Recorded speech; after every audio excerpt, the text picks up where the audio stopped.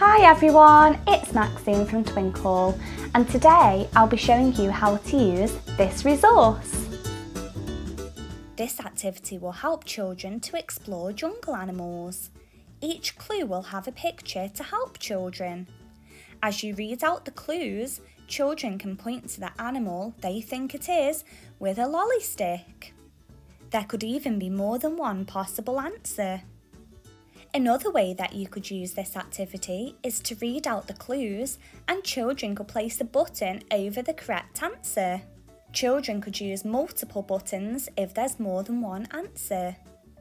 You could even take this activity out and about with you when visiting a zoo. Can children spot all of the animals? I hope you enjoyed the activity. See you next time.